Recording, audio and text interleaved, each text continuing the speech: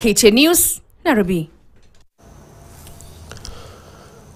Bila shaka tuangazie masuala ya elimu sasa, ambapo zaidi ya wanafunzi milioni moja nukta tatu wa gredi ya sita wameanza mtihani yao ya kitaifa hapo jana, wakianza na Kiingereza na hisabati. Hii ni mara ya kwanza kwa tathmini hii kufanywa bila kuunganishwa na mtihani wa darasa la nane.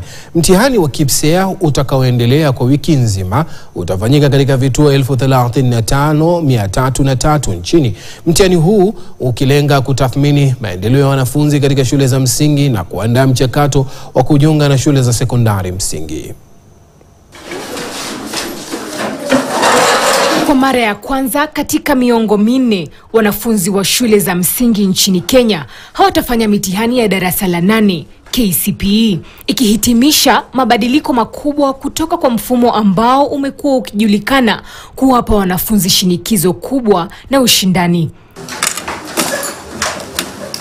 Kuanzia Jumatatu, zaidi ya watahiniwa milioni moja nukta tatu wa gredi ya sita wameanza mitihani wa gredi ya sita KPSEA utakaofanyika katika kipindi chote cha wiki katika vituo elfu thelathini na tano mia tatu na tatu. I wish to state and confirm that the government is fully prepared to undertake this examination. Uh, we are using, of course, a, a fully one government approach. We have a multi-agency approach, uh, and every possible security feature, security system has been put in place. Mtihani huu wa kitaifa unachangia asilimia 40 kwenye tathmini ya jumla, huku mitihani ya shule kutoka gredi ya nne hadi ya sita zikichangia asilimia 60, asilimia 20 kwa kila gredi.